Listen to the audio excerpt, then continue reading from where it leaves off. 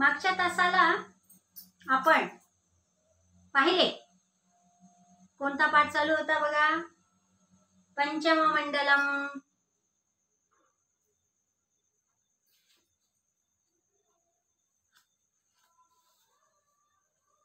चतुर्थ पाठ नाट्यकलश.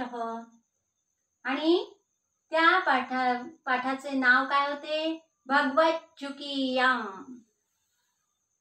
भगवत चुकीयम।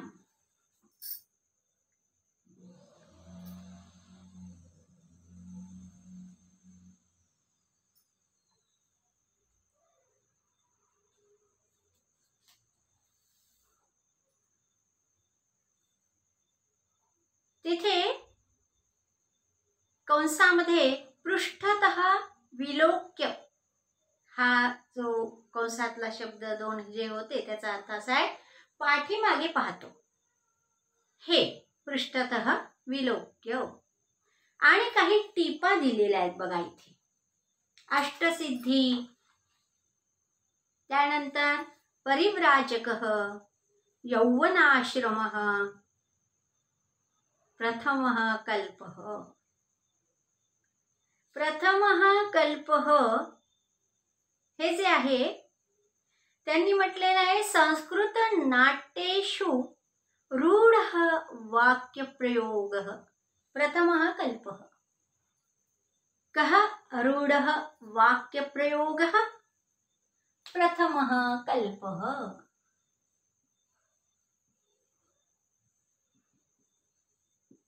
प्रथम कल्प अयम. असं म्हटलेलं आहे. प्रथम कल्प अयम। हे रूढ वाक्य आहे। संस्कृत नाटकांमध्ये हे रूढ वाक्य आहे। उत्तम कल्पना। अशी त्याची असा त्याचा अर्थ आहे। वा उत्तम कल्पना।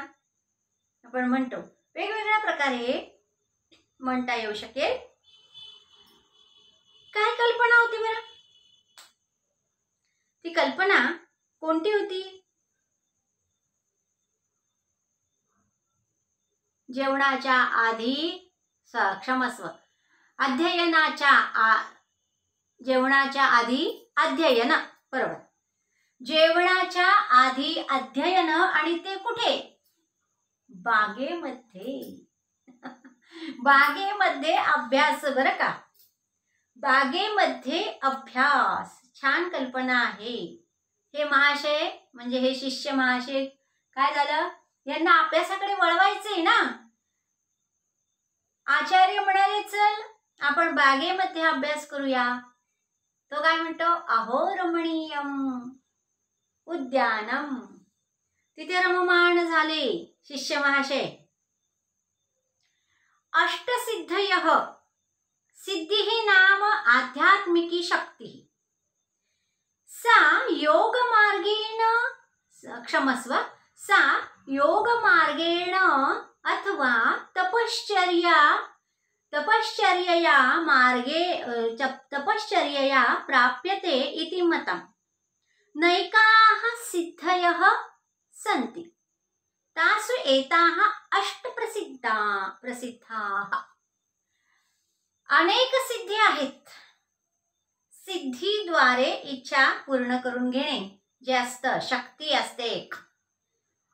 त्या अनेक सिद्धी आहेत पण इथे आठ दिलेल्या आहेत. अडिमा महिमा चैव लघिमा गरिमा तथा प्राप्ती प्राप्त्या प्राकाम्यम। द ईशित्वम वशित्वम च अष्टसिद्धय। या आठ सिद्धी या श्लोकामध्ये सांगितलेल्या आहेत. परिव्राजकाविषयी काय म्हटले बघा? संन्यासाश्रमे. चार आश्रम समाज व्यवस्था हे चार आश्रम आहेत. संन्या क्षमा समाजाच्या पूर्वीच्या काळी चार आश्रमांची निर्मिती असायची. पहिला आहे तो ब्रह्मचर्य आश्रम. या काळामध्ये लग्न वगैरे प्रकार नसायचे हा? ब्रह्मचर्य आश्रम. विद्या अध्ययनाचा काल आहे. या काळामध्ये फक्त शिक्षण घ्यायचे आहे. दुसरं काहीही मनात येऊ द्यायचे नसते लग्न प्रकार नाहीच नाही आणि म्हणून अभ्यास एके अभ्यास. हा. ब्रह्मचर्य आश्रम पंचवीसाव्या वयापर्यंत असायचा असं वाचण्यात आलंय माझ्या. आणि ब्रह्मचर्याश्रम झाल्यावर गृहस्थाश्रम विवाह विधी करून गृहस्थ व्हायचे. घरामध्ये प्रवेश गृहस्थाश्रम संन्यासाश्रम आणि वानप्रस्थाश्रम निघून जायचे वनामध्ये तपश्चर्येला असे समाज व्यवस्थेमध्ये चार आश्रमांची त्या काळामध्ये होती शिक्षण. शिक्षण क्षेत्रातील हे आणि समाजाशी संबंधित असे हे चार आश्रम. हे झालं. पुढचे दोन जे पुढचा जो आहे यौवनाश्रम हे अजून यायचंय वाचनामध्ये आपल्या. तर मागची थोडीशी आपण आठवण केल्यानंतर काल मी म्हटलंय मागच्या तासाला म्हटलंय की साधूंनी काय उत्तर दिले आपण नंतर बघूया. शिष्याने काय प्रश्न विचारला होता? आपल्या सामर्थ्याने तुम्ही दुसऱ्यांच्या देहात दुसऱ्यांच्या घरात प्रवेश करू शकता काय? प्रवेश. दुसऱ्यांच्या घरात दुसऱ्यांच्या देहात दुसऱ्यांच्या घरात. परवानगीशिवाय प्रवेश करता येईल काय? अर्थात माझ्या मते इथून तुम्ही चालत न जाता एकदम त्या घरात प्रवेश कराल काय? दरवाजा दरवाजा वगैरे उघडायचा नाही. आता चमत्कारच पाहायचा आहे ना त्याला. त्याने हे जे विचारलं आहे सहज साध्य घरात दरवाजा उघडा आणि घुसलाय घरात असं नव्हे. इथे थांबून काहीतरी चमत्कारिकपणा त्याला अपेक्षित आहे. आणि तो म्हणतो तुमच्या सामर्थ्याने तुम्ही दुसऱ्याच्या देहामध्ये जाऊ शकाल का? दुसऱ्यांच्या घरात जाऊ शकाल का? असं तो विचारतो. मग परिव्राजक काय उत्तर देतात बघा? किम? मला काय ते कठीण आहे? सहज जाऊ शकतो. छिद्यता आमेशा कथा. सोडून दे आता हे काही आवश्यक नाही. याविषयी चर्चा करणं आता थांबव सोडून दे. आता आपण काय करणार आहोत? तूष्णीं स्थित्वा योगम चिंतयावह या सामर्थ्याच्या गोष्टी आता तू बाजूला ठेव आणि आता काय करायचंय आपल्याला? योग साधना. बरोबर आहे. निसर्गाच्या सानिध्यात योग साधना. निसर्गाच्या सानिध्यामध्ये आपण योग साधना करूया शांडिल्य म्हणतो स्वतःशीच. भगवान तुष्णीम स्थित्वा योगम चिंतयतु अहम तु स सुसमाहित ओदनम चिंतयामी लड्डुका मोदका आत्मगतम काय म्हणतो? आता हे रंगमंचावर म्हणायचं आहे हा? असं करतात बघा ते. म्हणजे यांना ऐकायला गेलेलं नाहीये. इकडे मात्र लोकांना ऐकायला जाईल. ते स्वतःशी जरी म्हणलेलं असतं तरी ते मोठ्याने उच्चार असतो बघा. आपण बघतो ही ते सूचना दिली आत्मगतम. पण तो काय म्हटला? मनातल्या मनात हे प्रकटपणे प्रेक्षकांना ऐकवलं जातं. भगवान तूष्णीम स्थित्वा योगम चिंतयतु. करा. योगाचं चिंतन करा. शांत राहून तुम्ही योगाचं चिंतन करा. मी काय करतोय? लड्डुकम मोदका. मला फार भूक लागलेली आहे. आणि मी खाण्याची आठवण करतो आहे. भात लाडू मोदक ही भूक लागलेली आहे आणि म्हणून मी आपले हे चिंतन करतो. आणि तुम्ही करा योग साधना. मनातल्या मनात प्रत्यक्षात म्हणण्याची काय? म्हणू शकेल का नाही? प्रत्यक्षात म्हणणं योग्य पण नाही. इथे प्रत्यक्ष म्हणजे नाटकामध्ये नाहीये आहे सध्याच्या. नाटकामध्ये कसं असतं? नाटक असो काही असो कथा असो कुठे. इथे असं दाखवलंय की तो मनातल्या मनात म्हणतोय. मित्र मित्र बोलत असतील ते मोठ्याने म्हणणार. किंवा ते आचार्य जर रागावणारे नसतील हसत खेळत बोलणारे असतील हसत खेळत एक जोडीचा शब्द आहे हसत खेळत म्हणजे. हसून. मोकळ्या मनाने. जर बोलणारे असतील तर तो मग मोठ्याने प्रकटपणे म्हणेल की भगवान तुम्ही योग योग साधना करा. मी तोपर्यंत खाण्याचं आठवतोय. मला वाटतं असं भगवानला म्हणणार नाही गुरुजींना असं तो म्हणणार नाही. असो. तर तत प्रविशत गणिका सखी च. गणिकाचा अर्थ आजुका पुढे येईल ना आज्जुके वगैरे. कलावंतीण सॉरी क्षमस्व कलावंतीण असा त्याचा मराठी अर्थ शब्दकोशामध्ये मी पाहिले. कलावंतीण म्हणजे गणिका. गणिका म्हणते हंजे मधुकरिके कुत्र खलु मम चित्त चौर रामिलक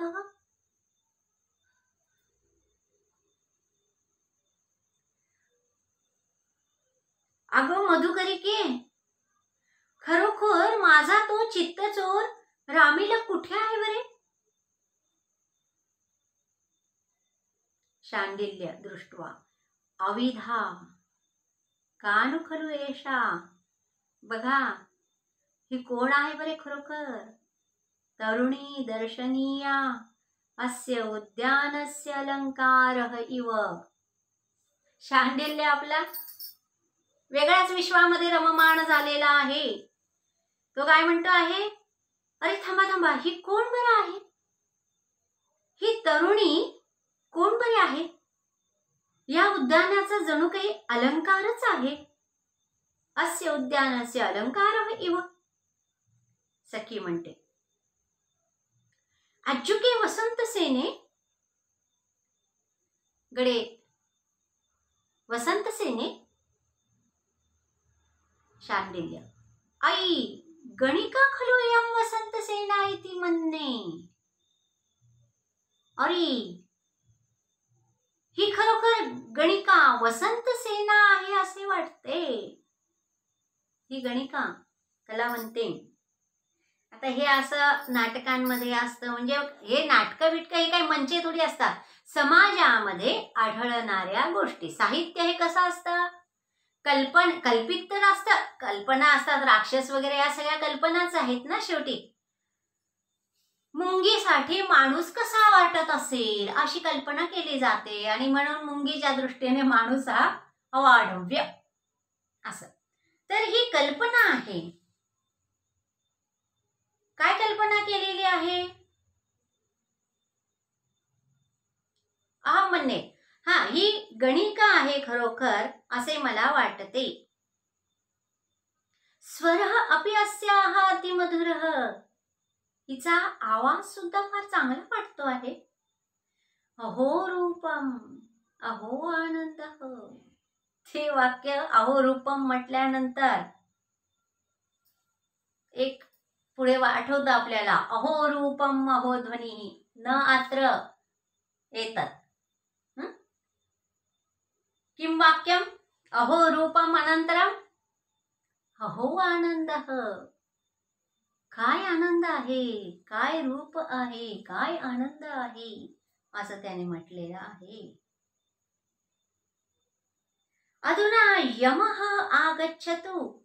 यमदूतः वा आगच्छतु. अहं तु इत्थम् एव नेत्राभ्यामस्याः. सौंदर्य करिष्ये. आता काय? यम यवो नाही तर यमदूत येवो. मी मात्र इथेच थांबणार. मला वाटते ही गणित आहे. वसंत सेना शृंगार रस प्रधान. साहित्यामध्ये संस्कृत साहित्यामध्ये कोणत्याही भाषेच्या साहित्यामध्ये ते र नवरस आहेत ना? त्यातला शृंगार रस हा साहित्यामध्ये असतोच. शेवटी मानवाच्या भावभावनांची अभिव्यक्ती आहे ही. तेव्हा इथे शृंगार रस व्यक्त झाला आहे. काय म्हणतो आहे तो? मी इथेच थांबतो आहे. ही फार सुंदर दिसते आहे. वसंत सेना. आणि म्हणून मी इथेच थांबतो. यम येऊ नाही तर यमदूत येऊ तत प्रवेशती यमदूत? आता यमदूत प्रवेश करतो. यमदूत वदती आत्मगतम पुन्हा स्वतःशीच. स्वगत ज्याला म्हणतात मराठीमध्ये स्वगत. तरी तो संस्कृत शब्दच आहे स्वगत. यमदूतोहम मी यमदूत आहे। क्षीणायुषाम प्राणिनाम प्राणान हर्तुम यमेन प्रेषित। ज्यांचं आयुष्य क्षीण झालेलं आहे यमाने ठरवलेलं वय. यमाने ठरवलेल्या वयाला व्यक्ती पोहोचली. असं तो म्हणतोय त्या व्यक्तीला घेऊन जायचं. प्राणान हारतो. त्यांचे प्राण हरण करायचे. नियत वयानुसार माणूस जसा सेवानिवृत्त होतो तसा यमनियत वयानुसार माणूस तेव्हा त्याने म्हटलेलं आहे आता ह्या अशा लोकांचं प्राण हरण करण्यासाठी मी पाठवला गेलो आहे. उक्तच गणिकायाः वसन्तसेनायाः प्राणान् अपहर. इति.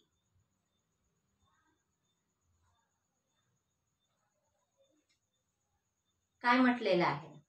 उक्त म्हटले असं म्हटलेलं आहे यमाने. यमाने काय म्हटलेलं आहे?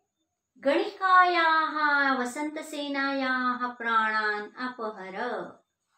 इयं सा वसन्तसेना स्वगत म्हणतोय कोणाशी तो बोलत नाहीये।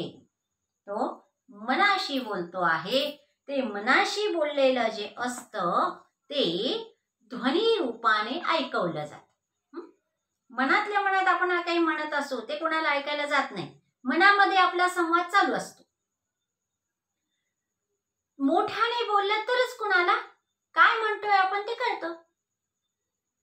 ह्याने स्वगत म्हटलेलं आहे मनातल्या मनात पण प्रेक्षकांना ऐकवणं गरजेचं आहे. नुसताच तो असा मनातल्या मनात उभा राहिला काय म्हणतोय हे त्याचं त्यालाच कळणार आहे.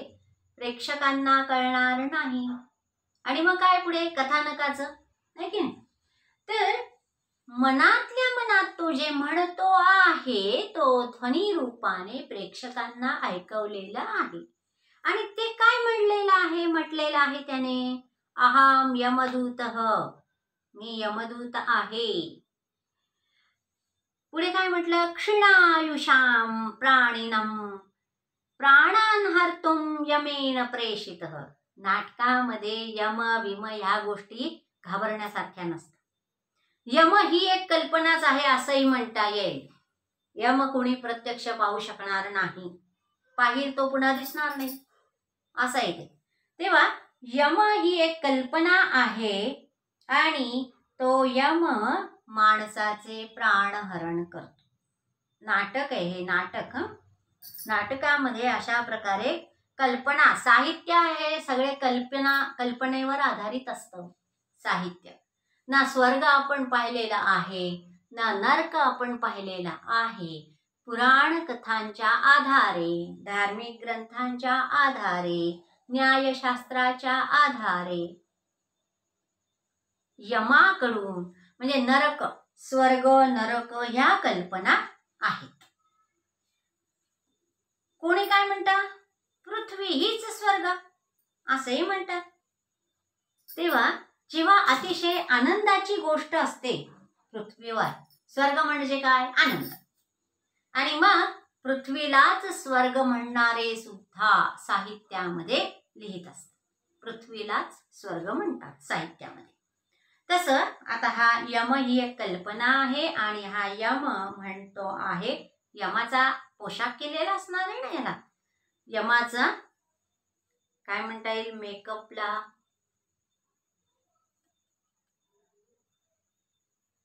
यमासारखा दिसेल असं त्याला सर्व काही तयार केलेलं असतं.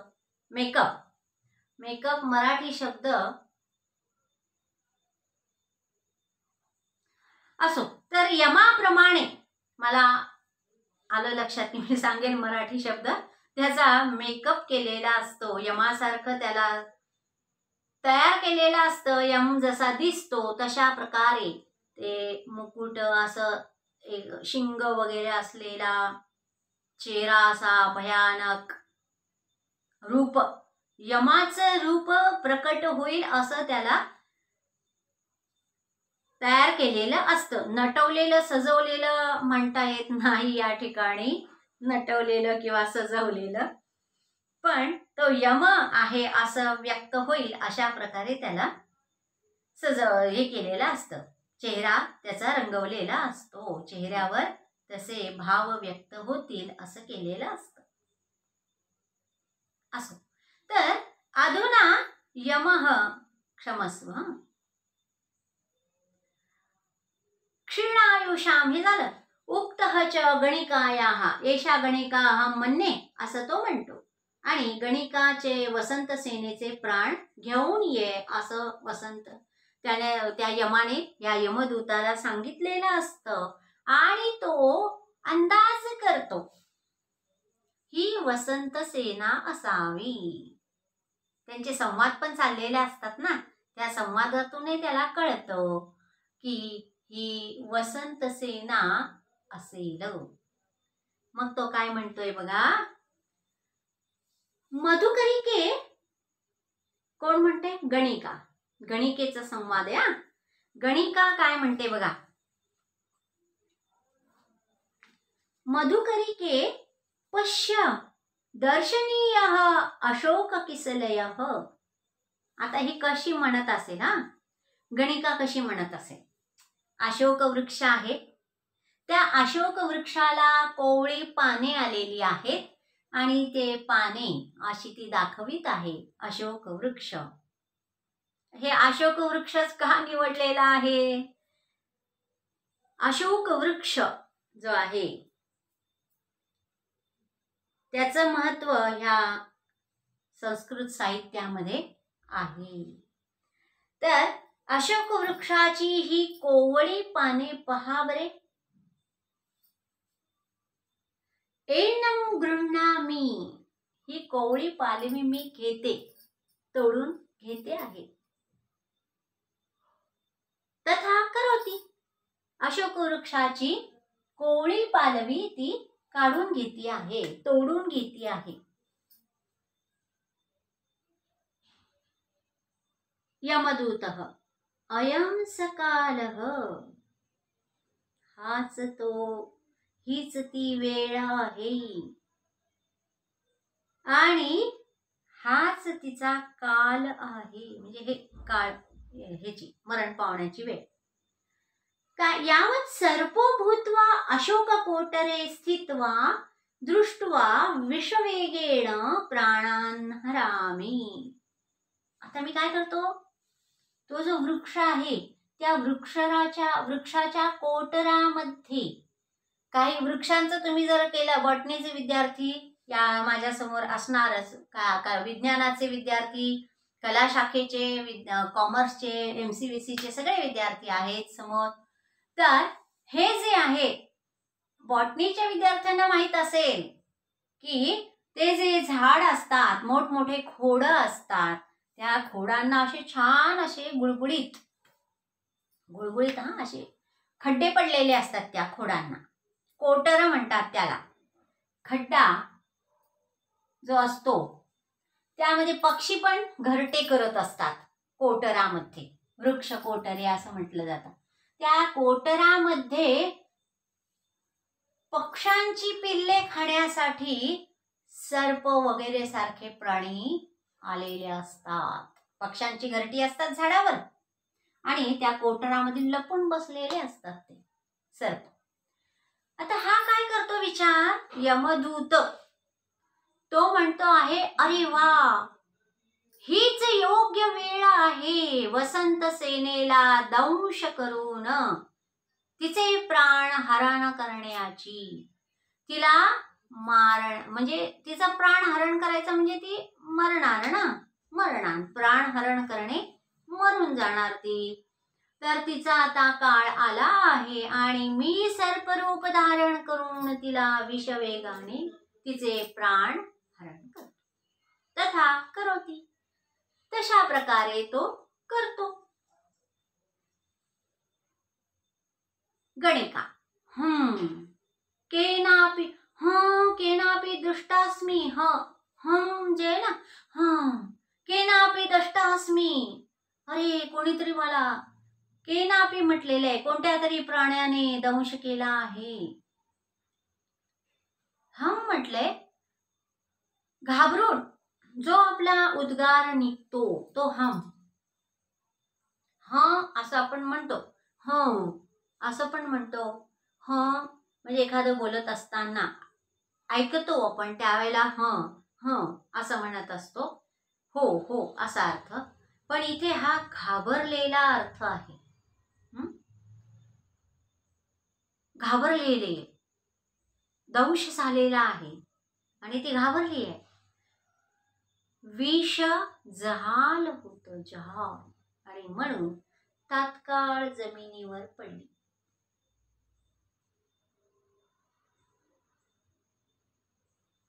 इथे आपण थांबूयात. इथपर्यंत थांबूयात. पुढे काय झाले? विषदंश झाला सर्पदंश झाला आणि ती जमिनीवर पडली. ती मरण पावली का? तिचं विष उतरवलं गेलं का? म्हणजे ती जिवंत राहिली की नाही राहिली? हे नंतरच्या तासामध्ये आपण बघणार आहोत. आजपर्यंत आतापर्यंत काय पाहिलंय आपण या तासामध्ये? हा जो आहे शांडिल्य आणि गणिका हे दोन पात्र त्या ठिकाणी आहेत. आणि एक तिची मैत्रीण सखी हे आहेत. मग यमदूत येतो. तो मनाशी काय म्हणतो? ते आपण पाहिलंय. मग ती गणिका काय म्हणते? पश्य सखे कि न किसलय नूतनम पल्लवम. पालवी. झाडांचं निरीक्षण करा तुम्ही कोवळी पालवी. पाहायला मिळेल. पानं कोवळे असतानाचा रंग आणि ते जून म्हणतात त्याला जून जून नव्हे हा जून म्हणजे चांगल्या प्रकारे हिरवा रंग प्राप्त केलेले. कोवळी पालवी कशी असते बघा वेगवेगळ्या झाडांचं निरीक्षण केल्यावर तुम्हाला पालवी वेगवेगळ्या आढळतील. त्याचे रंग त्या पालवींचं तुम्ही बघा पालवी आणि पाने. असा शब्दाचा तो वेगवेगळा फरक आपल्याला त्यातला फरक दिसेल. पान हे गडद हिरव्या रंगाचं दिसेल तर पालवीचा रंग गडद होत जातो. एकदम गडद नसतो. थोडासा पण त्यामध्ये फिकट म्हणजे त्यामध्ये रंग उडाला असं नसतं. त्याच्यात रंग भरत चाललेला आहे. असं असतं. तेव्हा वेगवेगळ्या तुम्हाला काय करायचं आहे? निरीक्षण वेगवेगळ्या पालव्यांचे निरीक्षण वृक्षांच्या पालवी बघायच्या आहेत.